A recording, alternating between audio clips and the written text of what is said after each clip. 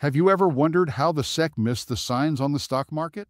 How could they have overlooked the unfolding situation with FTX? It's baffling to think that a company could operate as a broker, dealer, and clearinghouse simultaneously, all while sharing profits among the same entities, yet escape regulatory scrutiny. It begs the question were they asleep at the wheel?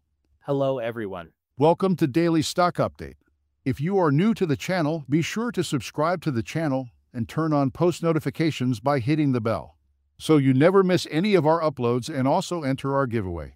But before that, alert this is not a financial advice video. Let's delve deeper.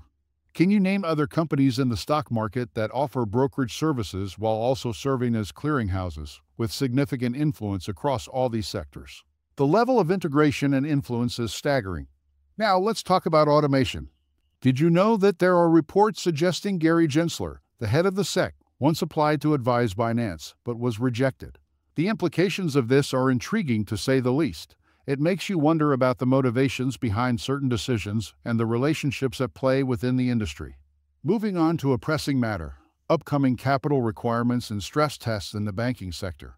While the focus has largely been on new capital requirements, recent confirmation from a bank CEO indicates that stress tests are also on the horizon.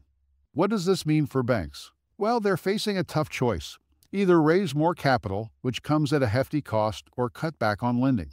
Reducing lending would mean shrinking their balance sheets significantly, leading to a decrease in revenues and, inevitably, expectations.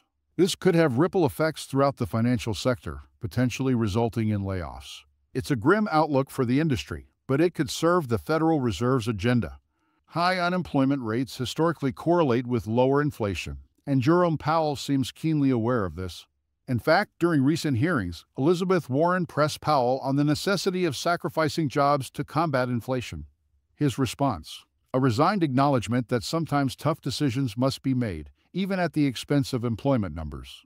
It's a delicate balancing act for Powell and the Fed. While they strive to rein in inflation, they must navigate the human cost of their actions. As history has shown, the road to lower inflation often comes at the expense of widespread job losses. It's a sobering reality that policymakers must confront as they chart the course ahead. Friends, that's all we have for you today. What is your opinion about today's video? Get involved and let us know in the comments down below. Thanks for watching.